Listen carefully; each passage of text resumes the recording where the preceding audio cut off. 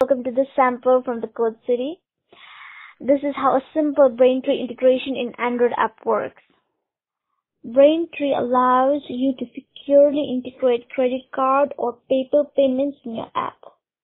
First, we need to get the token from the server. As you can notice, the toast message shows token received, then only we can make the payment form visible. Then visible. Then you can enter how much you want to pay. You will want it to be fixed amount, not the user's choice in the production because users will want to pay nothing.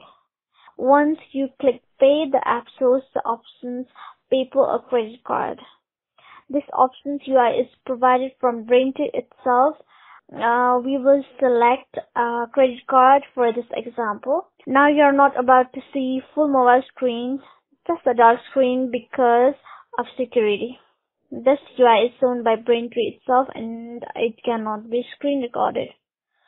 Wait till the end and I will uh, show you how it looks recorded from the other phone. So here's what was going on in that dark screen.